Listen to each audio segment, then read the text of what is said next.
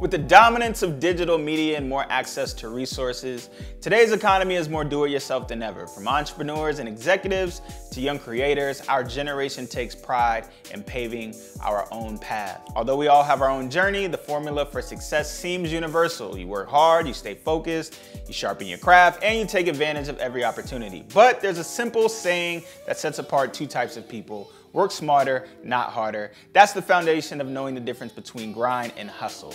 To be great requires great work ethic, and doing the work is demanded. This is proven by legends like Jay-Z, Michael Jordan, Derek Jeter, and Michael Jackson. But it's about the frame of mind a person has while putting in the work that determines the outcome. A person that hustles makes the right moves and masters positioning, while those who grind always search for moves and hope to master wherever they've been positioned. Someone who grinds can work tirelessly and see no return. Their fulfillment is just found in the chaos of moving at a fast pace, juggling multiple tasks, or simply being busy. Someone who hustles makes sure every effort reaps a return on investment. Those who grind are often opportunists. If a slot opens up, they run in without hesitation for the purpose of proving their worth to others. Those who hustle put effort into existing opportunity build on their vision, and create more opportunity with the value they know they already have.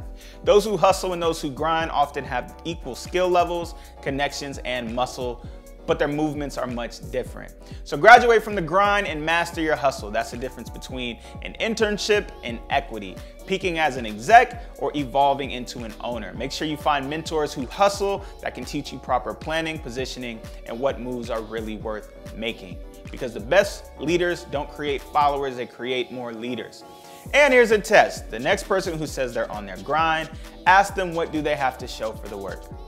That will let you know which category they truly fall under. All right, so for more stories like this, hit the button below, subscribe to Complex Hustle on YouTube, and stay tuned for more top stories. For Complex Hustle, I'm Julian Mitchell.